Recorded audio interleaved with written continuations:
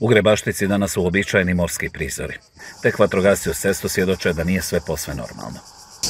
Dip Šibenik, Dip Šibenik, kako je stanje? Požar je pod nadzorom, ali vjetar ne dopušta potpuno opuštanje. Ponegdje izbije i vatra. U samom mjestu zbrajaju štete. Oštećeno je sedam kuća. U dvorištu obitelji Bačelić i vozila gostiju. Najbitnije je da su životi ljudski spašeni, a pet vozila je totalno, kako vidite, totalna šteta izgorjelo. Sve su auti od stranaca, od e, čeških, poljskih i slovenskih državljana. Radna akcija u kući na kojoj su nagorjeli krov, fasada i otvori. Obilaze ih i vatrogasci koji su iz zapaljenog objekta spasili vlasnicu i češke turiste.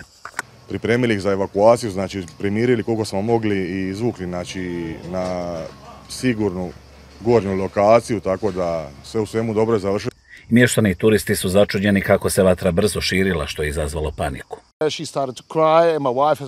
Čerka je plakala, a supruga se uznemirila. Trudio sam se našaliti, ali sam i ja bio prestrašen. Vatrogasci su ovdje odlično organizirani. Sve su nas izveli.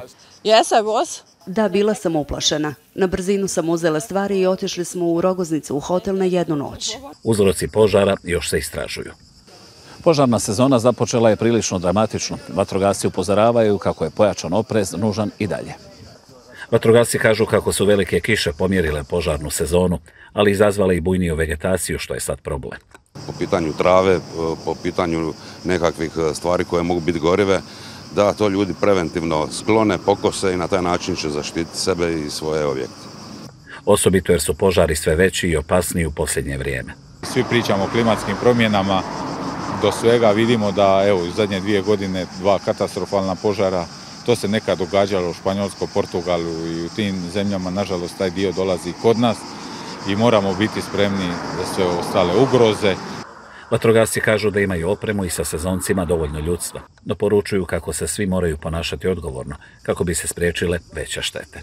Ivan Pavković, Al Jazeera, Grebaštica.